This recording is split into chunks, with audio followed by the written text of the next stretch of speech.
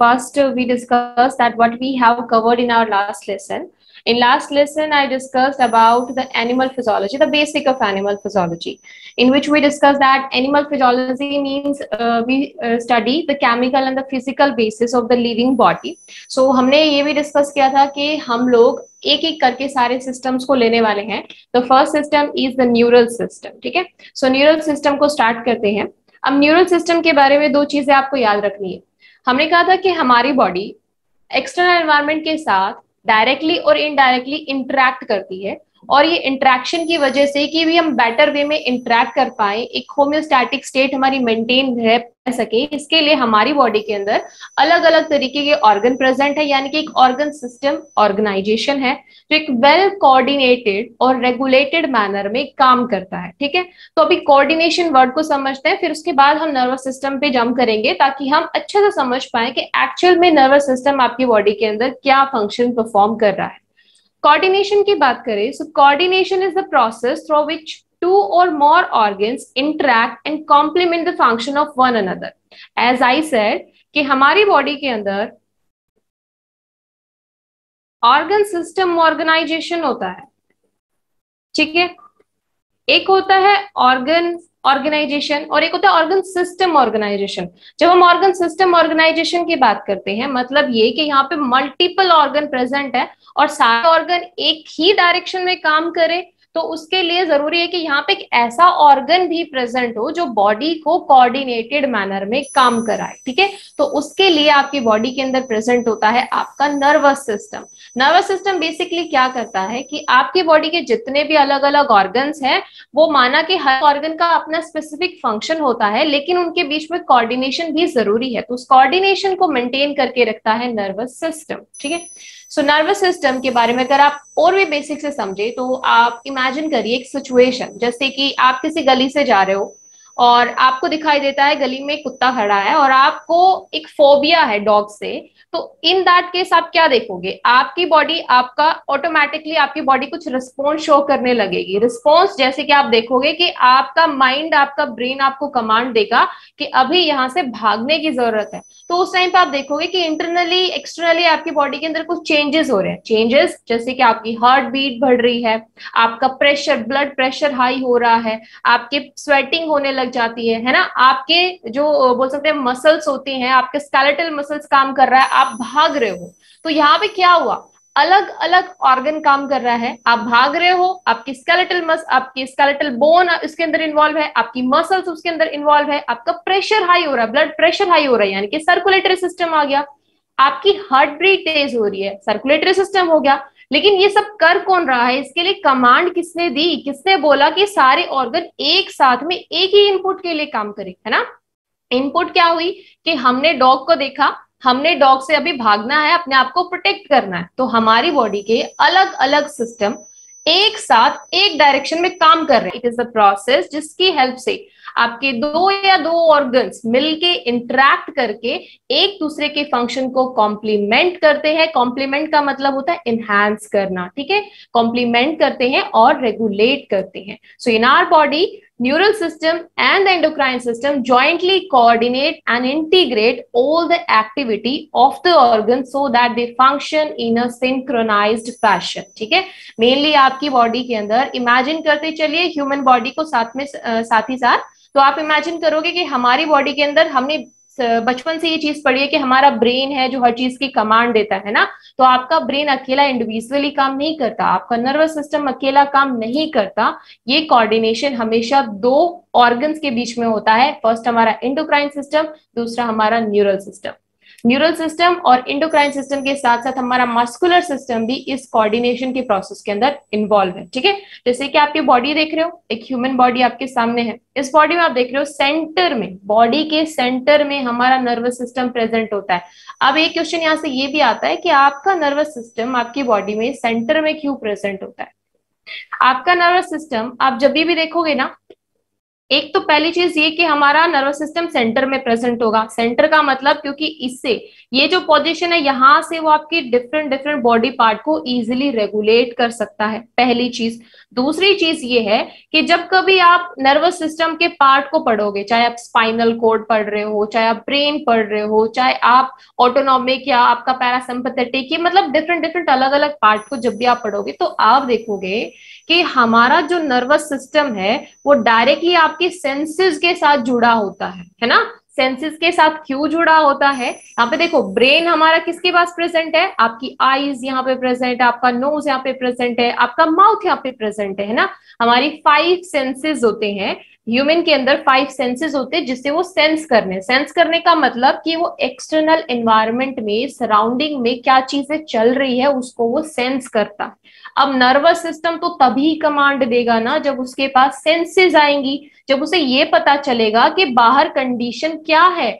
जब तक उसे ये नहीं पता चलेगा कि एक्सटर्नल एनवायरमेंट में कंडीशन क्या चल रही है, क्या आपका नर्वस सिस्टम कोई कमांड देगा। ऑब्वियस सी बात है नहीं। आपका नर्वस सिस्टम कमांड तभी देगा जब आपके एक्सटर्नल एनवायरमेंट के अंदर कोई चेंजेस हो रहे हैं। आप चेंजेस तो हो ही रहे हैं, लेकिन उसका हमें भी तो पता होना चाहिए, हमारी इंटरनल बॉडी को भी तो पता होना चाहिए। तो इंटरनल बॉडी तभी तो अडेप्ट करेगी। तो यहाँ पे क्या होता है कि आपका जो नर्वस सिस्टम है, हमेशा ऐसी पोजिशन पे आप किसी भी एनिमल की बॉडी को चाहे आप स्टडी करो, वो ऐसी लोकेशन पे लोकेटेड होता है जहाँ पे वो सेंसेस के साथ, जो सेंसरी ऑर्गन्स होते हैं, उनके साथ वो डायरेक्टली कनेक्टेड हो, ताकि जितनी जल्दी सेंसेस एक्सटर्नल एनवायरमेंट से सेंसेस को रिसीव करेंगे उतनी ही जल्दी वो आपके नर्वस सिस्टम तक पहुँच पाएगा। मिनिमम डिस्टेंस होगा तो मैक्सिमम चांसेस होंगे कि रैपिडली वो आपका सिग्नल आपके नर्वस सिस्टम तक पहुँच पाएगा और अगर वो नर्वस सिस्टम तक जल्दी पहुँच रहा है, तभी तो आपका नर्वस सिस्टम एक्टिवली पार्टिसिपेट करेगा एक्टिवली आपकी बॉडी को रेगुलेट करेगा, ठीक है? तो दो चीज़ें यहाँ से क्लियर हुई। हमारी बॉडी को इंटरनल एनवायरमेंट को आपके एक्सटर्नल एनवायरमेंट के हिसाब से चेंजिंग एनवायरमेंट के हिसाब से अपने आप को अडेप्ट करना पड़ता है। और हमारी बॉडी के अंदर, जैसे कहा था कि होलो स्ट्रक्चर है हमारा बॉडी का, ठीक है? और उस होलो स्ट्रक्चर के अंदर बहुत सारे ऑर्गन्स प्रेजेंट है जो अलग अलग काम को कर रहे हैं, ठीक है? तो आपकी बॉडी के अंदर उन ऑर्गन्स की फंक्शनिंग को रेगुलेट कौन करता है? हमारा नर्वस सिस्टम करता है। अगर इसकी लोकेशन की बात करें तो इसकी लोकेशन जनरली आपकी बॉडी के सेंटर में, यानी कि आपके टॉप रीजन में, आपके सेंटर में होगी, ताकि ये मैक्सिमली आपकी जो बॉडी पार्ट है, उनको इजिली रेगुलेट कर पाए, उनको अप्रोच कर पाए, क्योंकि वो जितनी जल्दी सिग्नल उसके पास आएँगे, उतनी जल्दी वो उस पर कमांड देगा। और आपका फैक्टर ऑर्गन काम करेगा, ठीक है? तो हमने इसके लोकेशन क्लियर हो गई कि जनरली आपका जो नर्वस सिस्टम है वो सेंटर में होगा और सेंसेस के पास में होगा। तो एक चीज़ आपको यहाँ से एक और निकल के आती है कि हमारे जो सेंसरी ऑर्गन्स होते हैं, चाहे वो आपका ईयर हो, चाहे आपकी आईज हो, चाहे आपका नोज़ हो, चाहे आपकी स्किन हो, इन सभी का काम क्या है? नर्वस सिस्टम के लिए सिग्नल रिसीव करना। ठीक है? ये नर्वस सिस्टम के लिए आपके अलग अलग डायरेक्शन से सिग्नल्स को लेके आएँगे नर्वस सिस्टम तक उसको पहुंचाएँगे और फिर नर्वस सिस्टम उसको सोचेगा एनालाइज करेगा, उसको डीकोड करेगा कि मुझे कैसे रिएक्ट करना है या मुझे किस ऑर्गन को कमांड देनी है राइट अभी हम लोग यहाँ पे एक चीज़ और समझते हैं, ठीक है? हमने कहा, हमारा जो नर्वस सिस्टम होता है, इसके बारे में कुछ एक पॉइंट हमने क्लियर करे। पहली चीज़ हमने क्लियर करी कि हमारे बॉडी की इसकी लोकेशन कहाँ पे होगी।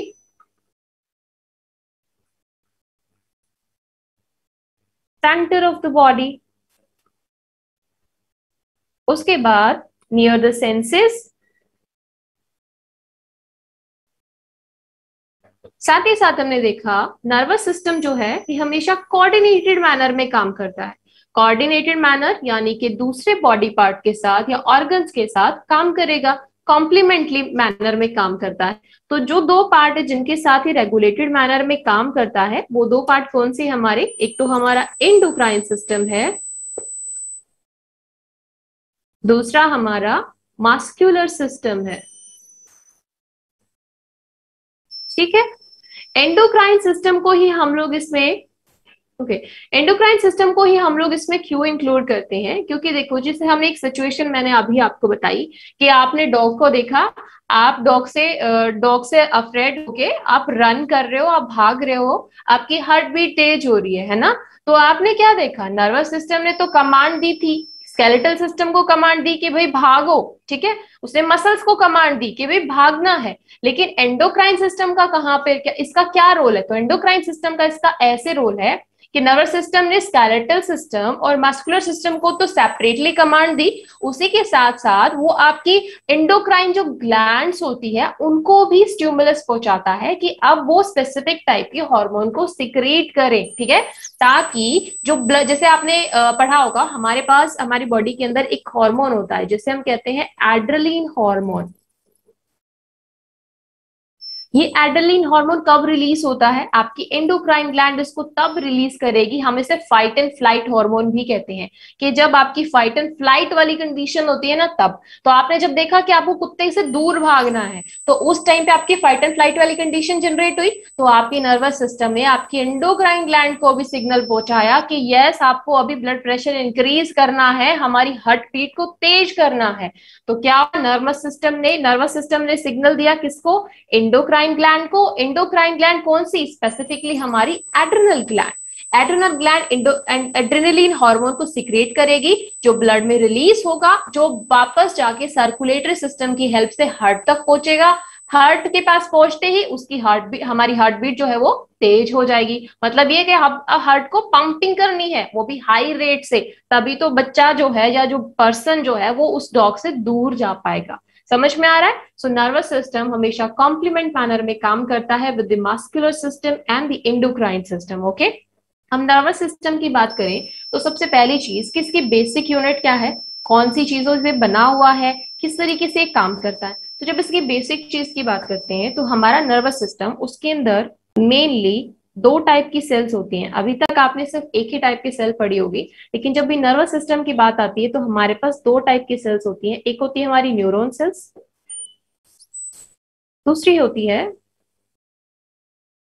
neuroglial cells now the neuron cells जो न्यूरॉन सेल्स होती है उसके बारे में आप सभी ने पढ़ा है कि न्यूरॉन सेल्स क्या है कैसे फ़ंक्शन परफॉर्म करती हैं। बट आप न्यूरोगेलिया के बारे में इतना जा, इतने ज़्यादा फैमिलियर नहीं हो तो हम इसके बारे में ब्रीफली डिस्कस करेंगे। एग्ज़ाम्पल के लिए आप यहाँ रख सकते हो कि न्यूरोनल सेल तो आपको पता है क्या होती है। न्यूरोगेलिया सेल्स में आपकी एग्ज़ाम्पल के लिए होती है आपकी स्क्वान सेल्स एस्ट्रोसाइड सेल्स ठीक है? क्लियर हो इतना पॉइंट यहाँ से? अभी हम लोग यहाँ से देख लेते हैं कि किस तरीके से हमारी बॉडी कोऑर्डिनेट करती है। So type of body coordination कि हमारी बॉडी में दो टाइप के कोऑर्डिनेशन होते हैं। या तो हॉर्मोनल कोऑर्डिनेशन होता है या नर्वस कोऑर्डिनेशन होता है। हॉर्मोनल कोऑर्डिनेशन कब होगा? जब हमारी एंडोक्राइन ग्लैंड्स उस कोऑर्डिनेशन में इन्वॉल्व होगी। नर्वस कोऑर्डिनेशन कब होगा? जब हमारा नर्वस सिस्टम इन्वॉल्व होगा, या कहें कि नर्वस सिस्टम एक्टिव होगा। So hormonal coordination it is control by the endocrine system example के लिए, आपके ब्लड के अंदर आपका ग्लूकोज लेवल इंक्रीज हो जाता है। जब आपकी बॉडी के अंदर ग्लूकोज की डिफिशियंसी होती है तो उस टाइम पे आप देखते हो कि हमारी बॉडी के अंदर ग्लूकोज का लेवल इंक्रीज होता है और आप सभी को पता है कि एक हार्मोन होता है जिससे हम कहते हैं इंसुलिन हार्मोन और ये इंसुलिन हार्मोन ग्लूकोज के लेवल को मेंटेन करके रखता है रेगुलेट करके रखता है हमारे ब्लड के अंदर, ठीक है? तो वो समझ में आया कि हार्मोनल कोऑर्डिनेशन कैसे होगा? हम ये, हमने यहाँ पे दो एग्ज़ाम्पल लिए। पहला एग्ज़ाम्पल हमने कब लिया था कि एड्रेनील एड्रेलिन हार्मोन है एपिनेफ्रिन हार्मोन है जो ब्लड के अंदर रिलीज़ होके आपके ब्लड के अंदर सर्कुलेट करता है और सर्कुलेशन के बाद ही हार्ट बीट को इंक्रीज करता है आफ्टर रीचिंग दी हार्ट ठीक है? दूसरा हमने एग्जांपल लिया कि जैसे एंडोक्राइन ग्लैंड है हमारी, उसने इंसुलिन को रिलीज़ किया। इंसुलिन को जैसे रिलीज़ किया इंसुलिन आपका ब्लड के ग्लूकोज लेवल को मेंटेन करेगा, ठीक है? नर्वस कोऑर्डिनेशन की बात करें it is control by the nervous system और नर्वस सिस्टम कैसे कोऑर्डिनेट करता है?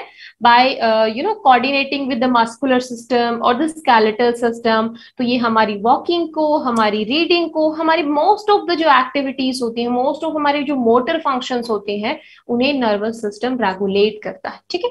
अब डिफ्रेंशिएट कर लेते हैं। डिफरेंट करते हैं कि नर्वस कोऑर्डिनेशन और एंडोक्राइन कोऑर्डिनेशन के बीच में क्या डिफरेंस है? सो नर्वस कोऑर्डिनेशन यहाँ पे क्या होगा कि इंफॉर्मेशन जो होती है pass electrical impulses along the nerve fibre ठीक है? अब देखो, आपके पास एक न्यूरोनल सेल्स होता है। न्यूरोनल सेल की कुछ इस तरीके की स्ट्रक्चर होती है कि ये हमारा सेल बॉडी है, उसके कुछ डेंड्राइट्स होते हैं, यहाँ से एक एक्सोन निकल रहा होता है और यहाँ पे कुछ इस तरीके से आपका साइनस रीजन बना होता है, ठीक है? कुछ इस तरीके से आपने न्यूरल सेल्स पढ़ी है राइट ये हमारे एक न्यूरोनल सेल्स है। अब इस न्यूरोनल सेल्स के अंदर सिग्नल कैसे ट्रांसमिट होता है कि ये इलेक्ट्रिकल इम्पल्सिस की फॉर्म में सिग्नल ट्रांसमिट होगा। इलेक्ट्रिकल इम्पल्सिस एग्ज़ाम्पल के लिए फिजिक्स में आप सभी ने पढ़ा होगा कि हमारे पास जो वायर्स होते हैं, उन वायर्स के थ्रू इलेक्ट्रिसिटी ट्रांसपोर्ट होती है। कैसे होती है? इलेक्ट्रिसिटी ट्रांसफ़र कि इलेक्ट्रिसिटी का मतलब transfer of the charge ion ठीक है? तो वैसे ही आप यहाँ पे ले सकते हो कि जब आप न्यूरोनल सेल की बात करते हैं न्यूरोनल सेल के अंदर इलेक्ट्रिकल इम्पल्सिव जनरेट होते हैं। मतलब यहाँ भी जो ट्रांसफ़र हो रहा है सिग्नल का, वो भी आपके चार्ज आयन की मूवमेंट की वजह से ही हो रहा है, ठीक है? So information passes as electrical impulses along the nerve fibres ठीक है? ये भी एक आपको यहाँ से पता होना चाहिए कि जो न्यूरोनल और आपकी नर्व फाइबर्स होते हैं, उनके बीच में क्या डिफरेंस होता है, ठीक है? ये मैं आपको आगे बताऊँगी। अभी आप यहाँ पे इतना ध्यान दीजिए कि नर्वस जब हम कोऑर्डिनेशन की बात करते हैं तो वहाँ पे हमारी न्यूरोनल सेल के अंदर इलेक्ट्रिकल इम्पल्सिस जनरेट होते हैं, जो नर्व फाइबर के अलोंग ट्रैवल करते हैं, ठीक है? जिससे आपका सिग्नल रैपिडली ट्रांसफ़र हो सके, ठीक है? There is a rapid transformation of information rapid मतलब वेरी फास्ट और रैपिडली क्यों होगा? क्योंकि यहाँ पे इलेक्ट्रिकल इम्पल्सिस जनरेट हो रही है, ठीक है? आप ऐसे भी देख सकते हो, आप एक साइकिल से जा रहे हो और आपने एक मोटर बाइक ली हुई है, ठीक है? मोटर बाइक नहीं, हम इलेक्ट्रिकल बाइक ले सकते हैं। तो आपके पास दो बाइक है, एक आपके पास बाइसिकल है, एक आपके पास मोटर बाइक है। आप दोनों से एक ही पॉइंट से जब अपनी जर्नी को स्टार्ट करते हो तो आप देखते हो कि आपकी जो मोटर बाइक है, या कहीं आपकी इलेक्ट्रिकल बाइक है, वो आपको ज़्यादा रैपिडली मतलब ज़्यादा जल्दी आपको आपके डेस्टिनेशन पे पहुंचाएगी। रीजन इज़ क्योंकि उसके अंदर आपका जो एनर्जी है, वो ज़्यादा है। लेकिन आप एक साइकिल की बात करो तो उसमें आपकी मैकेनिकल एनर्जी लग रही है। वो इतनी ज़्यादा एनर्जी नहीं है जितनी आपकी मोटर बाइक की वजह से है। तो आप अपनी डेस्टिनेशन पर धीरे पहुँच पाओगे। तो ऐसे ही आपका नर्वस सिस्टम काम करता है कि नर्वस सिस्टम के अंदर उसके इलेक्ट्रिकल इम्पल्सिस जनरेशन की वजह से आप देखते हो कि उसके अंदर रैपिड ट्रांसफॉर्मेशन होता है किसका? इंफॉर्मेशन का। ठीक है? सो so, यहाँ पे जो रिस्पॉन्स होगा वो हमारा इमीडिएट होगा। अब ऑब्वियस सी बात है सिग्नल अगर जल्दी आया है तो बॉडी रिस्पॉन्स भी तो करेगी उतना ही रैपिड हमारा रिस्पॉन्स होगा उतना ही रैपिड हम रिएक्ट भी करेंगे। Response is very exact yes this is the point जो आपको हमेशा याद रखना है कि नर्वस कोऑर्डिनेशन के अंदर जो रिस्पॉन्स होता है वो एग्जैक्ट होता है। बिकॉज़ नर्वस सिस्टम में नर्वस सिस्टम जिस भी फैक्टर ऑर्गन को सिग्नल पहुंचाएगा या कहीं उसको कमांड uh, देगा वो हमारा डिफाइंड होगा। ऐसे नहीं होगा कि आपने कमांड किसी और ऑर्गन को दी, आपने कमांड दी आपके नर्वस सिस्टम ने मसल्स को और काम कौन कर रहा है? स्केलेटल सिस्टम तो ऐसे नहीं होता। ये बहुत ही प्रिसाइज होता है कि नर्वस सिस्टम ने अगर स्केलेटल सिस्टम को कमांड दी है तो वही उसके ऊपर एक्ट करेगा। उसका अफेक्टिंग ऑर्गन भी वही होगा। तो यहाँ पे कह सकते हैं कि जो रिस्पॉन्स होता है, वो एग्जैक्ट रिस्पॉन्स होता है। और जो रिस्पॉन्स है वो शॉर्ट लाइव भी है। अब शॉर्ट लाइव रिस्पॉन्स क्यों है? शॉर्ट लाइव रिस्पॉन्स इसलिए होता है क्योंकि ये जो न्यूरोनल सेल है, इसके अलोंग जो इलेक्ट्रिकल इम्पल्सिस ट्रांसफ़र हो रही है बहुत एक शॉर्ट टाइम पीरियड के लिए रहती है। रैपिड होती है एग्जैक्ट रिस्पॉन्स होता है, लेकिन शॉर्ट लाइव होती है कि बहुत कम टाइम के लिए।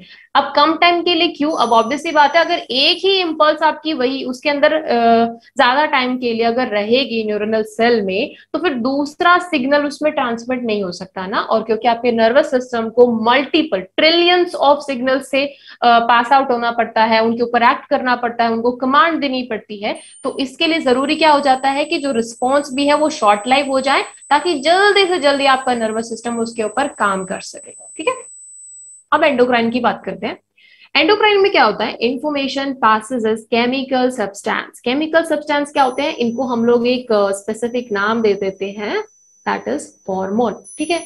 सो so, इंफॉर्मेशन जब हम एंडोक्राइन सिस्टम की बात करते हैं तो ये किसके फॉर्म में ट्रैवल करती है? ये एक केमिकल सब्सटेंस की फॉर्म में ट्रैवल करती है। और इस केमिकल सब्सटेंस को हम लोग हॉर्मोन बोल देते हैं। हॉर्मोन कुछ भी नहीं है, सिर्फ़ एक केमिकल सब्सटेंस है और इस केमिकल सब्सटेंस की नेचर कैसे भी हो सकती है। या आपका प्रोटीनियस भी हो सकता है, या आपका कोई आपकी कार्बोहाइड्रेट मोइटी भी हो सकती है, आपका स्टीरोइड मॉलिक्यूल भी हो सकता है, ठीक है? तो आपका जो हार्मोन है, एक केमिकल सब्सटेंस ही है, जिसकी नेचर आपकी वैरी करती है। प्रोटीनियस भी होता है कार्बोहाइड्रेट मोइटीज भी होती है, कई बार ये आपके एंजाइमेटिक भी होते हैं ना? तो ये आपकी केमिकल सब्सटेंस हमको कलेक्टिवली कह देते हैं। जो कि रिलीज़ किसमें होते हैं? ब्लड और लिम्फ में। अच्छा एक चीज़ और यहाँ से हम लोग क्लियर कर लेते हैं। हमने कहा एंडोक्राइन ठीक है? तो आपकी बॉडी के अंदर दो टाइप की ग्लैंड होती है। एक होती है endocrine second one is exocrine endocrine का मतलब क्या होता है? जो अपना जो भी सब्सटेंस वो रिलीज़ करेगी, चाहे वो आपका कोई केमिकल सब्सटेंस हो, वो ब्लड में या लिम्फ में रिलीज़ होगा, ठीक है?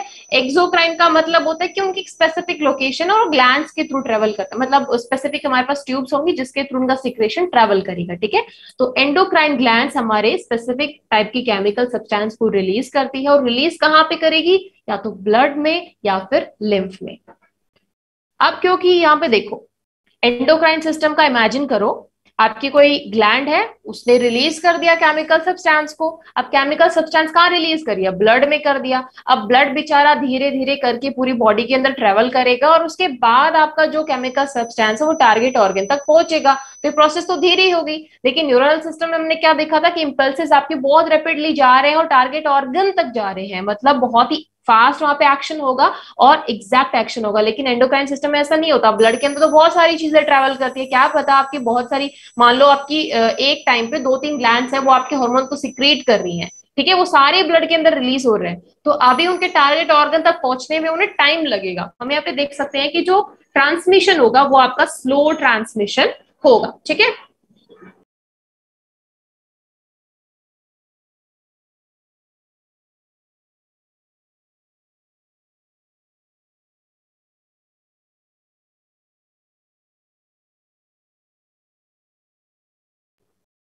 ओके सो अब इसके बात करते हैं हम लोग कि रिस्पॉन्स जो होता है ओके यस कि जो रिस्पॉन्स होगा वो जनरली बहुत ही स्लो होगा। स्लो किस लिए होगा? अभी हमने समझा कि ट्रांसमिशन आपका धीरे धीरे होता है रिस्पॉन्स भी शो होगा स्लो ही होगा, ठीक है? Response is usually wide spread wide spread का मतलब समझ में आया कि जैसे एड्रेलिन हार्मोन है एपिनेफ्रिन हार्मोन है। अब ऐसा तो है नहीं कि एपिनेफ्रिन हार्मोन सिर्फ़ आपके हार्ट के ऊपर ही काम करेगा, ठीक है? ये और भी ऑर्गन के ऊपर काम करता है। एक हार्मोन के मल्टीपल टारगेटेड ऑर्गन हो सकते हैं। तो ऐसी कंडीशन में आप देखोगे कि जो आपका एंडोक्राइन सिस्टम है, उसका जो रिस्पॉन्स होता है, वो वाइड स्प्रेड होता है। वाइड स्प्रेड मतलब बहुत सारे ऑर्गन के ऊपर आपको एक टाइम में वन टाइम में एक ही हार्मोन की वजह से मल्टीपल ऑर्गन अफेक्टेड आपको नज़र आएँगे, ठीक है? रिस्पॉन्स इसमें लॉन्ग लिव्ड होता है। This is the very nice thing about the endocrine system कि यहाँ पे जो रिस्पॉन्स होता है वो लॉन्ग लिव्ड होता है। शॉर्ट लिव नहीं होता लॉन्ग लिव्ड होता है, लेकिन बहुत धीरे काम करता है, ठीक है? सो क्लियर हुआ? अब हम लोग बात कर लेते हैं न्यूरल सिस्टम की। यहाँ से स्टार्ट करते हैं हम लोग न्यूरल सिस्टम कि किस तरीके से आपका नर्वस सिस्टम काम करता है, ठीक है? अच्छा जी, उससे पहले हम लोग ओके okay. सो ये हाँ नर्वस सिस्टम स्टार्ट करने से पहले हमारी कुछ टर्मिनोलॉजी है जो आपको पता होनी चाहिए कि आपका स्ट्यूमुलस क्या होता है रिस्पॉन्स क्या होता है, क्योंकि हम ये टर्म बार बार इस्तेमाल करने वाले हैं तो आपको थोड़ा सा इनका बेसिक नॉलेज होना चाहिए कि रिसेप्टर्स क्या होते हैं इम्पल्सिस का एक्चुअल मीनिंग क्या होता है फैक्टर्स ऑर्गन्स क्या होते हैं। तो ठीक है, हम लोग यहाँ पे वन बाई वन देख लेते हैं। न्यूरल और nervous system is the system of neurons all we know that कि न्यूरल सिस्टम कह रहे हैं मतलब वहाँ पे न्यूरोनल सेल्स प्रेजेंट है और बहुत सारी न्यूरोनल सेल्स मिला के हमारा नर्वस सिस्टम बना रही है, ठीक है? They form the network like structure जो कि आपकी बॉडी के अंदर डिस्ट्रीब्यूटेड है। They conducting information via electrical impulses ये हमने डिस्कस किया कि आपकी न्यूरोनल सेल के अंदर जो ट्रांसमिशन होता है इंफॉर्मेशन का, वो आपकी इलेक्ट्रिकल इम्पल्सिस की फॉर्म में होता है. So as to coordinate and control the activities of different part as well as provide appropriate response to both internal and external stimuli, right? कि दोनों टाइप के सिग्नल्स के ऊपर नर्वस सिस्टम काम करता है चाहे वो इंटरनल हो चाहे एक्सटर्नल हो। पर यहाँ पे आपको ध्यान रखना है कि जो भी स्ट्यूमलाई आएगा जो भी सिग्नल आएगा उसको नर्वस सिस्टम तभी रीड करेगा उसको तभी डिकोड करेगा उसके ऊपर कमांड तभी देगा जब उसका रिस्पॉन्स जो है वो एक रेंज तक एक अब तो एक रेंज तक होना चाहिए। अगर वो आपका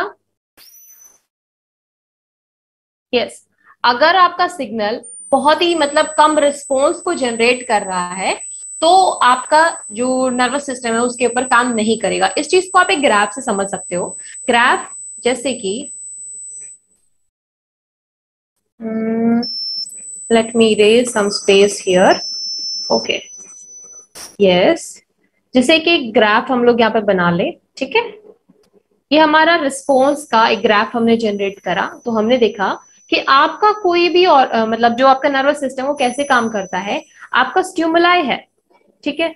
आपका इधर स्ट्यूमुलाई है स्ट्यूमुलाई की एक रेंज होती है। इधर हमारी रेंज हम कह सकते हैं रेंज होती है। जिस रेंज तक एक रेंज होती है हमारी जिसे हम कहते हैं थ्रेशोल्ड रेंज आप सभी ने ये टर्म पढ़ा होगा केमिस्ट्री के अंदर। कि हमारा जो एनर्जी ग्राफ भी आप देखते हो तो उसमें देखते हो कि हमारा जो एंजाइम्स होते हैं, उनकी कुछ एनर्जी होती है, वो एक्टिवेशन एनर्जी शो करते हैं थ्रेश एनर्जी होती है ना? तो आप कुछ इस तरीके से इसको समझ सकते हो कि कोई भी सिग्नल जो है, जब तक इस थ्रेशोल्ड वैल्यू को, इस वैल्यू को क्रॉस करेगा ना, तब तक आपका नर्वस सिस्टम उस पर काम नहीं करेगा।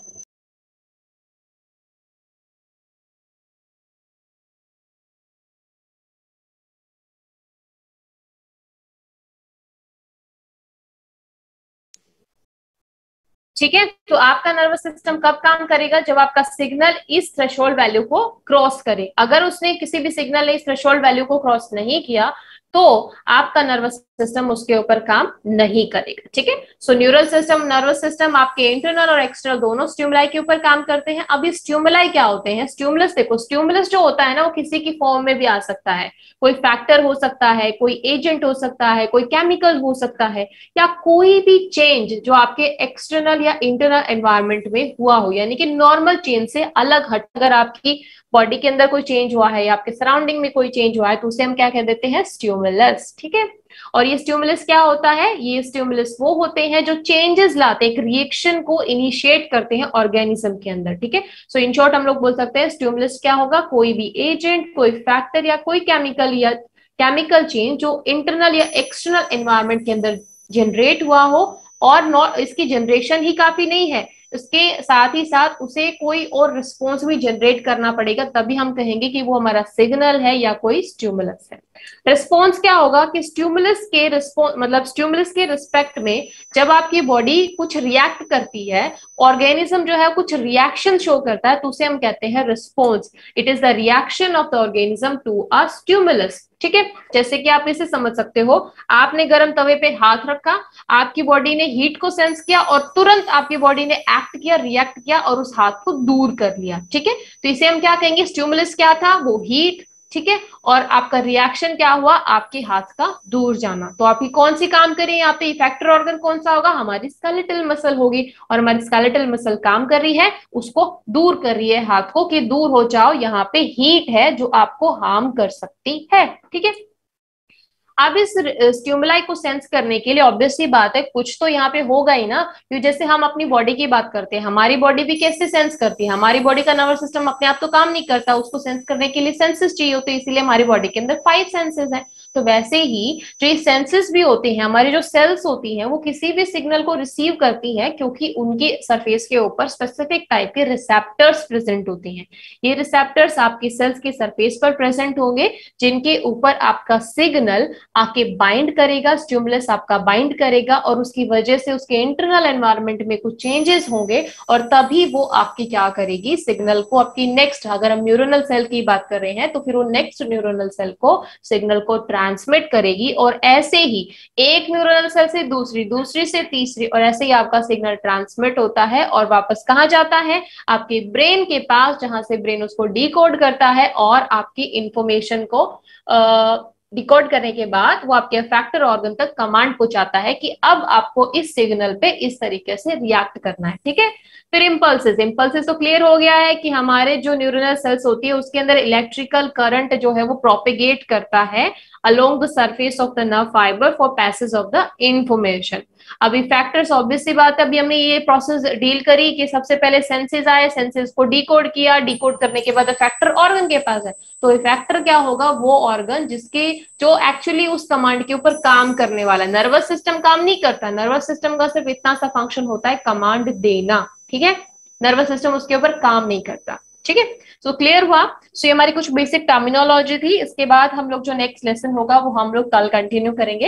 And thank you so much